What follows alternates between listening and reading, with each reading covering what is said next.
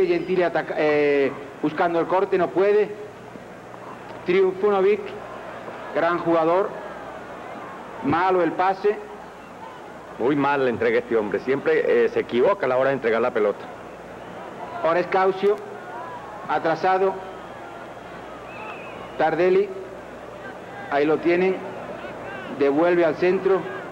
Hacia Zaccarelli. Iniciando eh, Italia el fútbol desde el medio campo. Beluggi a la izquierda para Maldera. Caucio muy metido a la izquierda. Benetti. Benetti al centro.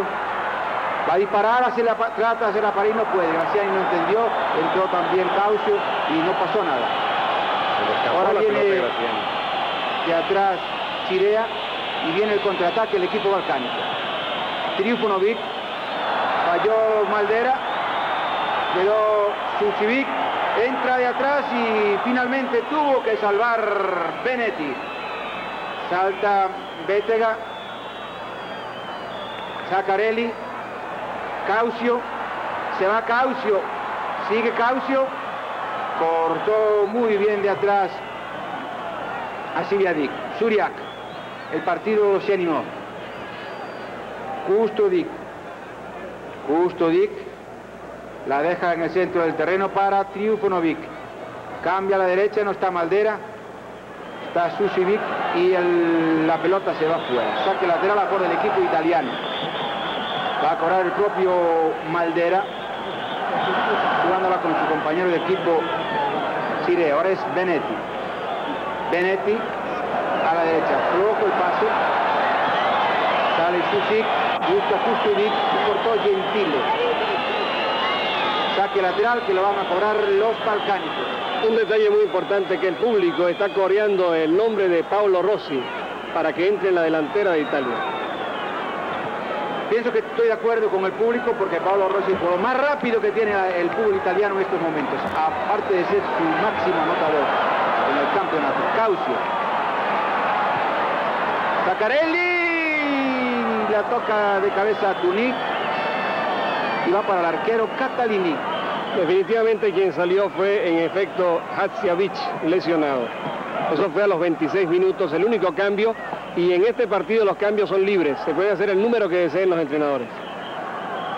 Sale Jerkik. Jerkik se viene al centro. Triufonovic. Triufonovic. Insiste. Personalizan la jugada. Insiste. Continúa. Continúa. Se, se tragó toda la cancha y se quedó con el balón fuera del terreno. Lamentable jugada, demasiado esfuerzo y muy poca calidad, muy poca mentalidad futbolística. Vivo, directo, vía satélite desde el Estadio Olímpico de Roma, Italia. Benevisión, que ya está en el Mundial de Fútbol, transmitiéndoles el partido entre las selecciones de Italia y Yugoslavia. Maldera, Zaccarelli, Benetti, la eleva, muy bien Benetti. Bétega, tiene que atrasar, Zaccarelli, ahora es Gentile al ataque, muy bien Caucio, Gentile, Tardelli, y se perdió el esférico. Hace la pared con Graciani, dispara, dan un contrario, Natuní y da las manos de Catalini. Completamente inoperante la delantera italiana. No ha hecho absolutamente nada en el partido de hoy. Si Bersop quería mostrar que podía el equipo tener alguna capacidad goleadora, hasta el momento los jugadores no le han respondido. Yo pienso que la inclusión de Rossi, un jugador que practica un fútbol muy parecido al suramericano, eh, da pases cortos, se mueve, eh, dribla, esquiva jugadores, podría ser una buena inyección en el equipo italiano en estos momentos. La pelota en poder de Atunic. Atunic la juega con Sasivic, este con Triufonovic.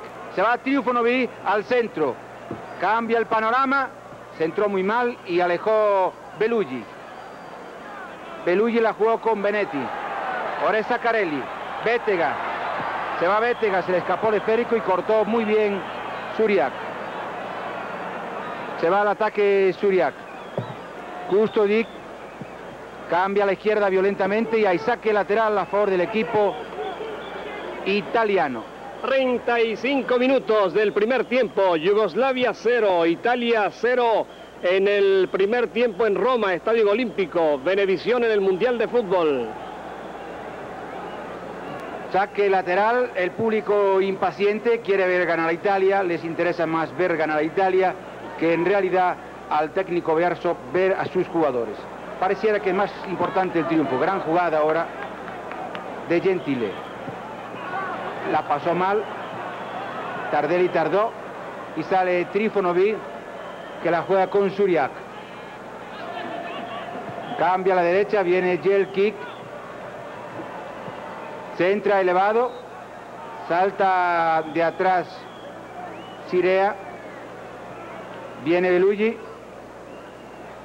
la juega con Tardelli, Caucio, Caucio se la entregó a un contrario, le hicieron falta, vamos a esperar la decisión del juez, porque ahí hemos visto algo raro, ahí hay un balcánico tendido.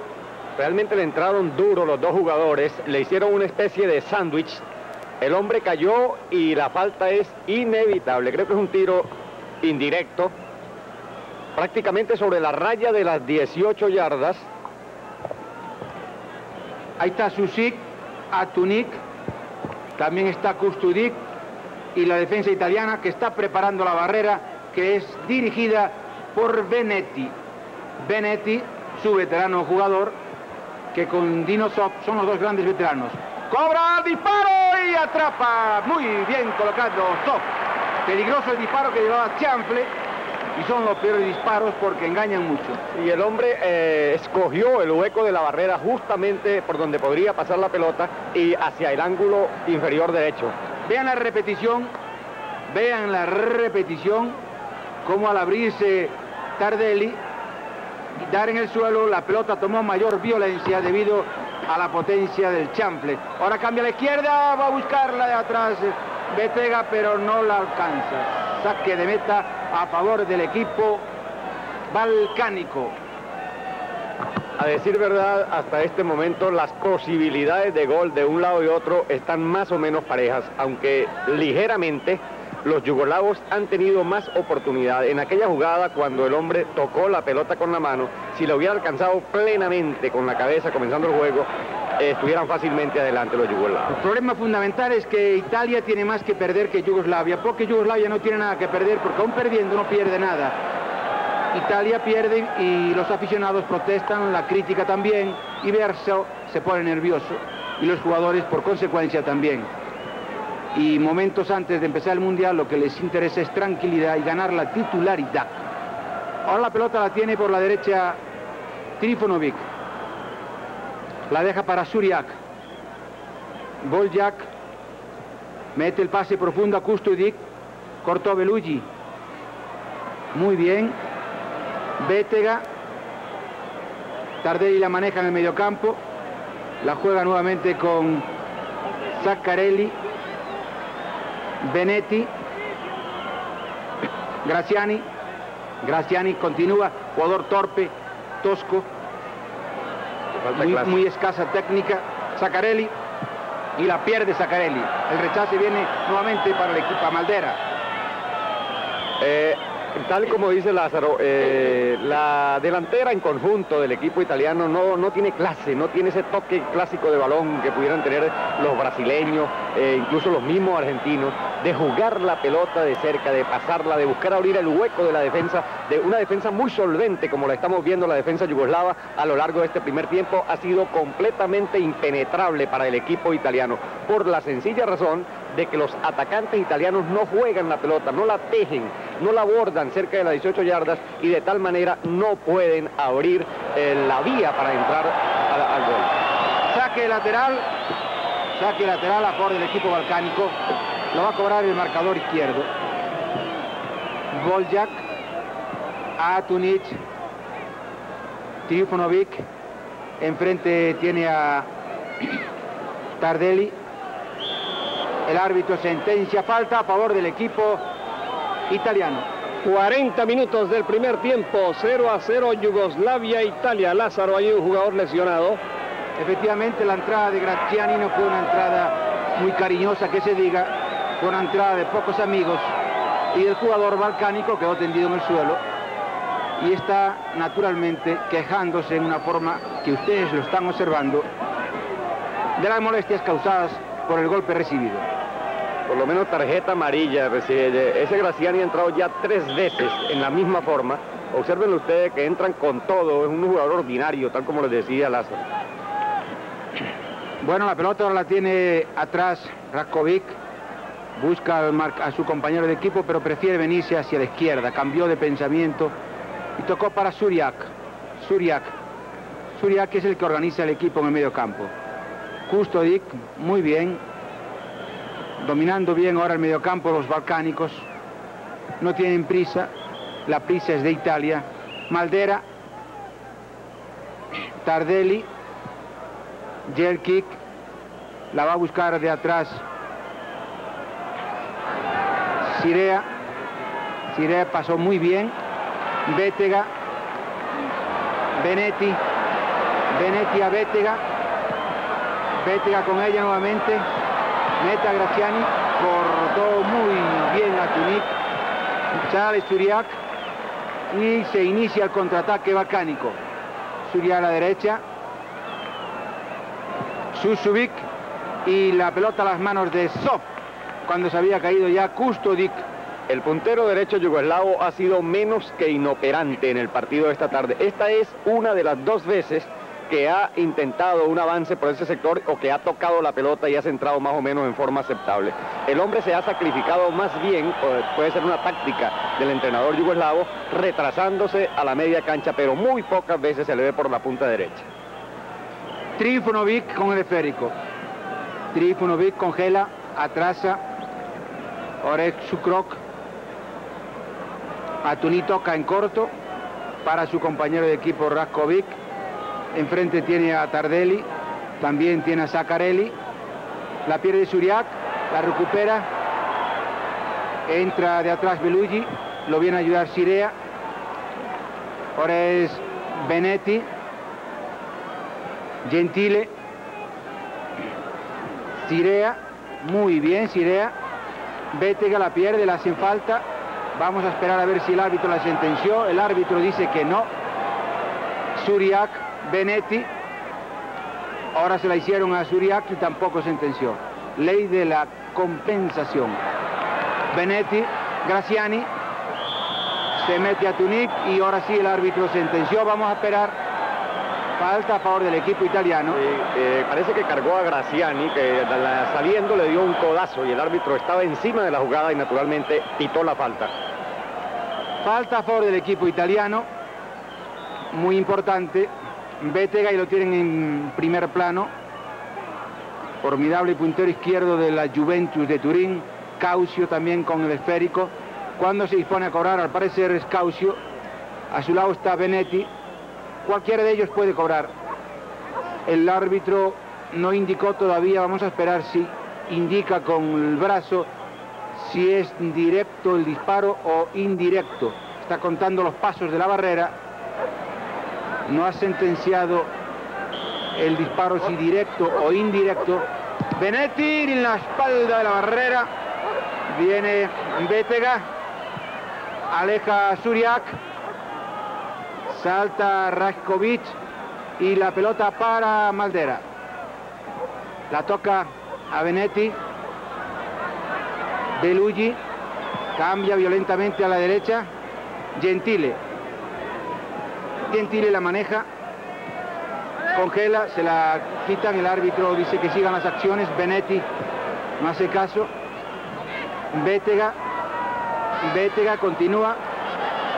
Continúa pero sin balón porque se excedió en la personalización de la jugada y no puede ser papadito así Ahora la pelota la tiene Jelkic, la pierde también. Cuando el partido está llegando a la finalización de la primera parte y el marcador continúa igual. Italia 0, Yugoslavia 0. Eh. Partido disputado en el estadio que se está disputando en el Estadio Olímpico de Roma, transmitido directamente vía satélite por Venevisión que ya está en el Mundial de Fútbol. El área de las 18 yardas del conjunto yugoslavo ha sido algo como tabú para la delantera del equipo italiano. ni, de, ni cobrando los tiros libres han podido entrar ahí. Como ustedes vieron, el tiro libre anterior rebotó en la barrera. Realmente, por lo menos en estos 45 minutos, ha sido nula, inoperante la delantera italiana. Cirea, se fue Cirea, lo desplazó el marcador derecho Yerki del conjunto balcánico y el árbitro sentenció oportunamente, estaba muy encima de la jugada. Va a cobrar la falta el propio Cirea. Se inicia el avance. Italia buscando el gol. Se viene Benetti y el árbitro en este preciso instante acaba de señalar la finalización de la primera parte del juego entre Italia y Yugoslavia con el eh, la selección eh, italiana tiene nueve jugadores suplentes y eh, según los críticos se espera que los nueve entren en acción en el transcurso del segundo tiempo. Va a reanudarse ya el partido en la segunda parte y Felo Jiménez con ustedes. Bien amigos, comenzó el segundo tiempo. Moviendo la pelota el equipo de Yugoslavia que juega con uniforme blanco y ataca de izquierda a derecha en la pantalla de sus televisores.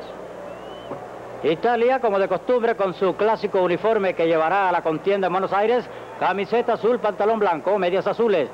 Mueve la pelota a Zaccarelli en la centro del campo. Media vuelta y busca a Tardelli.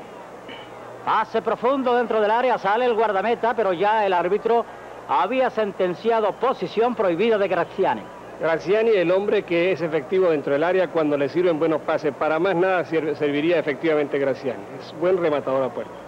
Es un hombre oportunista más que todo. Siempre se coloca dentro del área esperando el pase oportuno. Eh, diríamos en lenguaje criollo que es un cazagüire. Pase profundo también de los yugoslavos. Corta bien el jugador Belugi. Sin embargo, el juez de línea está haciendo una señal allí, ella es Chiré al que cortaba la jugada. Y el juez de línea sentenció, hizo señal para que cobraran falta del atacante yugoslavo. 0 a 0 cuando comienza el segundo tiempo. El capitán Sof con la pelota rebotándola dentro del área y el saque por elevación. Se juega en la mitad del campo. Benetti Caucio por el centro, tira, la bola da en el cuerpo de un contrario, sale por el lado derecho. Allí la tomó Boljak y no tuvo problema para entregarla al guardameta Katalinic. No han aprovechado las puntas la delantera italiana para abrir la defensa, nunca. Se han tratado de meter más por el centro del campo y hay que tomar en cuenta que la defensa balcánica ha sido un bloque sólido con cuatro hombres en línea. No marcan hombre a hombre, pero sí establecen una especie de línea Maginot. Jugada peligrosa. El árbitro corta el juego.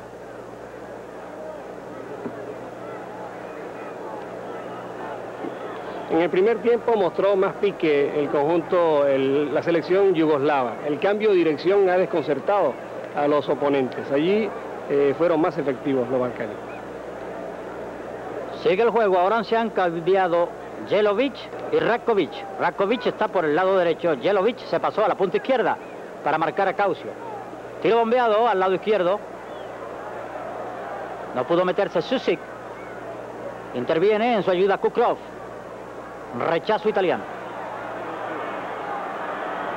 Caucio va por el lado derecho, perseguido por Rakovic. Sigue Caucio. Viene al centro para Zaccarelli. No alcanza Zaccarelli, rechaza Hatuni. Sin duda que está haciendo falta Antonioni en la selección italiana. No hay distribución, no hay cerebro de equipo. Y esto influye notablemente porque no se le saca provecho a los delanteros, no hay distribución efectiva para abrir brechas en la sólida defensa balcánica. Bien amigos, va a continuar el partido cuando se prepara Italia para cobrar un tiro directo. Allí lo hacen tratando de hacer una jugada de laboratorio. Entra la testa de Hatunik desviando al costado izquierdo. Va sacando ahora poco a poco Yugoslavia. Suria, que es el que la lleva, se la quitaron. pero ahora la entrega del italiano fue mala. Recupera Yugoslavia y va en contraataque rápido. Trifunovic al lado izquierdo. Susik se entra, jugada peligrosa, sale Sof, resuelve el peligro. Sacarelli recibe de las manos del guardameta Sof. Mala entrega, quita Yugoslavia, van a tirar de afuera. Efectivamente, ahí va, salta Sof y bota a córner de puñetazo. Jugada peligrosísima porque el tiro llevaba dinamita. En efecto, el tiro de Savic, el extremo, le quitó un poquito de pintura al travesaño. No llegó a tocarla el guardameta Dino. Y da prueba de ello que está sacando de meta, o sea que no llegó a tocarla. La primera impresión que me dio era que la había tocado, pero fue que la mió el travesaño y siguió como un bólido la pelota. Un poquito más baja y tuviéramos el partido Yugoslavia 1, Italia 0. Marcador en blanco todavía. Cinco minutos de la segunda parte.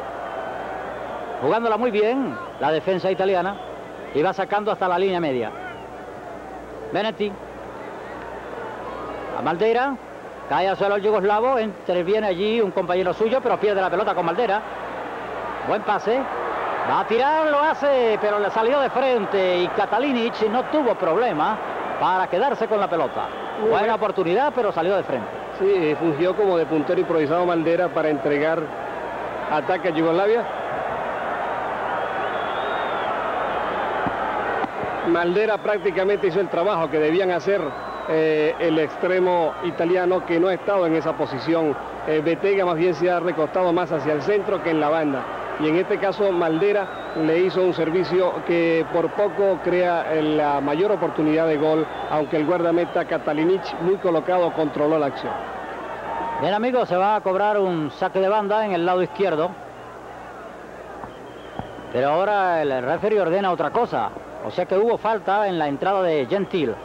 Cobran tiro directo a favor del equipo yugoslavo. Le salió rastrero directo a la puerta. Se arrodilló Sof y detuvo con seguridad. 0 a 0 el partido cuando estamos en los inicios del segundo tiempo. El primer cuarto de hora de la segunda parte. Muy bien la jugada de toma y dame. Tarde y ahora. Tira, el, miren ustedes lo que hizo, un patadón. La montó en la tribuna. Tardelli ha estado en una tarde muy mala para él. Precisamente en víspera de este encuentro, el técnico Bersot dijo que su hombre clave es Tardelli por la forma como puede recostar el juego hacia los lados para tratar de descolocar a la defensa. Pero Tardelli no ha hecho nada de lo que anunció el técnico y ahora mismo cuando tenía buenas posibilidades de tirar al arco, lo que hizo fue tirar un patadón a la grada. En cambio, muy bien han estado en lo que va de juego Belugi y Shirea. Shirea prácticamente en todas partes del terreno eh, ha sido un hombre comodín en la selección italiana. Bien amigos, sigue el juego, controla la pelota el equipo de Yugoslavia, pero el árbitro corta el juego, señalando infracción de Suria. Italia pasando bien la pelota, no hay duda, es un equipo de mucha técnica. Será uno de los principales protagonistas del campeonato mundial. A pesar de que el grupo donde se encuentra es uno de los más peligrosos, uno de los donde la lucha será más reñida, con Hungría, Francia y Argentina. Precisamente a Italia le toca debutar contra Francia. A quien todos señalan desde ya como la gran revelación de este campeonato, tal como fue Holanda en el de hace cuatro años en Alemania. Muy controlado han tenido a Kustodic, el máximo goleador yugoslavo con 16 goles en el campeonato. Eh, y a esta labor le ha tocado sobre todo a Belugi y a Maldera que han estado encima de él. Se cobra una falta, o mejor dicho, un saque de banda allá en campo italiano. Lo hizo Gentil poniendo la pelota en los pies de Belugi. Tiro hacia el lado derecho, rechazo por parte del defensa Jelovic. Quita Italia otra vez en su propio campo. Muy asentada la defensa. Bien plantada la línea media, sirviendo de magnífico enlace. A Italia en realidad lo que le ha hecho falta es a Antonio en este partido. Me refiero a Antonioni, que no juega por estar lesionado. Todavía el técnico tiene esperanza de que se recupere y lo pueda llevar a Buenos Aires. Yugoslavia con la pelota, ataca por el lado izquierdo, prefiere venir al centro ahora. Ahora dieron atrás nuevamente para Boljak. que entró a jugar en el primer tiempo. Tiro sobre el área. Domina la defensa italiana y ahí está el rechazo hasta mitad del campo. Muy Benetti. bien. Trifunovic por Yugoslavia, muy bien, gran Caucio. trabajador. Benetti no pudo alcanzar esta vez. Recupera el equipo de Italia por Chirea. Bettega anda ahora por el centro. Tardelli. Zaccarelli. Pase profundo para Graziani. No pudo hacer nada. Lo controló bien el defensa Hatunik y lo despojó. Tratan de salvar una pelota allí ahora los yugoslavos por intermedio de Rakovic, pero el árbitro señala que la pelota había salido. El sábado 20 a las 11 de la mañana, fútbol, Austria contra Holanda, vivo directo vía satélite desde Viena, Austria, por Venevisión. Centro italiano, la pelota sobra a los dos atacantes que se confundieron con Jelovic. Llega cerca del banderín de córner. Allá Tardelli la está moviendo en dirección de Caucio. Hizo una jugada de taquito, pero como espía, porque no había ningún compañero cerca. Se la entregó a los dos contrarios que lo estaban marcando. Avanza otra vez Italia por el lado derecho. Está presionando en busca del gol que inaugure el marcador. Sin embargo, todavía no lo consigue. Vean cómo marca Yugoslavia. Ahí tienen el tiro a media vuelta, se arroja el guardameta. Se le escapa momentáneamente la pelota, luego la tapa con el cuerpo cuando entraba Graziani con intenciones de llevarla hasta la red. Bien, eh, hemos estado viendo el dominio todavía territorial por parte de la selección italiana, pero no logra coordinar bien sus jugadas para eh, motivar la acción de gol, para propiciar el gol. Y los yugoslavos, en ese sentido, defensivo sobre todo, son eh, grandes jugadores, tienen gran sentido de anticipación y destruye cualquier intentona italiana. Vamos a cumplir el primer cuarto de hora de la segunda parte. El marcador se mantiene 0 a 0 entre Italia y Yugoslavia. Pero el semblante de Italia en esta segunda parte es muy diferente al del primer tiempo. Vean ustedes cómo ha estado dominando desde que se inició la complementaria y está presionando en busca del gol. Sin embargo, Yugoslavia está plantada, muy bien plantada en la defensa, siempre marcando por zona. Ataca Italia. Entra bien la defensa, ya lo vieron ustedes. Quitó y en lugar de provocar el córner, la pelota se le dio por el lateral.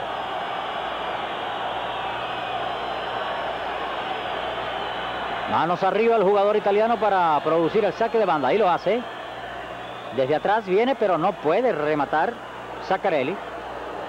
Tardelli a la derecha. Caucio produciendo el centro y ahora sí. Atenazó muy bien Catalinic. Italia buscando el gol que abra el marcador.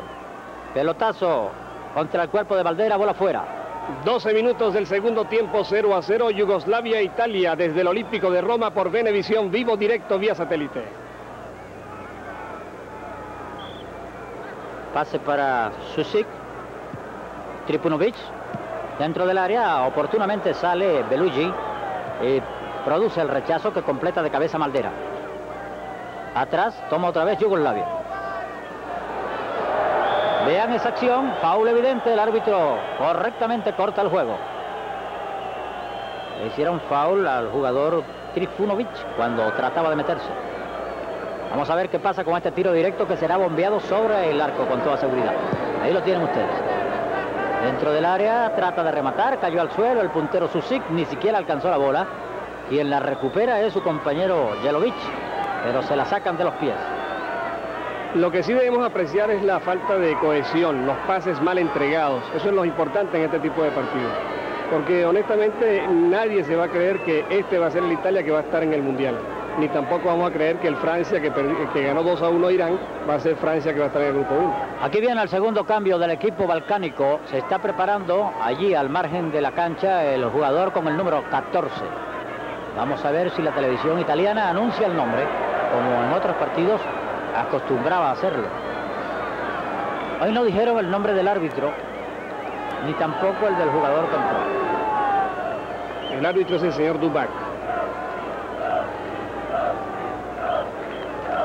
Bueno, Franco recibió un telegrama en el intermedio cuando le anunciaban el nombre.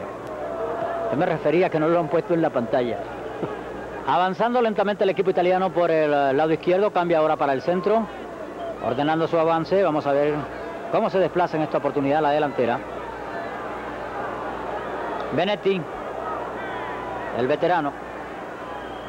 Betega anda siempre por el centro, a pesar de que lleva en su puesto el, el de puntero izquierdo. Y ahora Caucio perdió la, los